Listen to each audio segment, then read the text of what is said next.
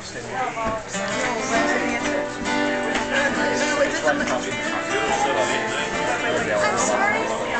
Real nice, though. I recommend staying there. Initially established way back when is a club for all kinds of men.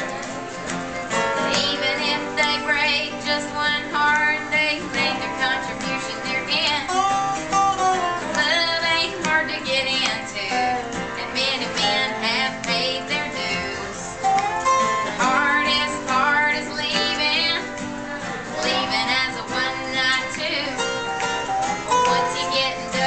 there's no way out. Even if you wanted to leave, you're in the Heartbreakers Hall of Fame now, baby.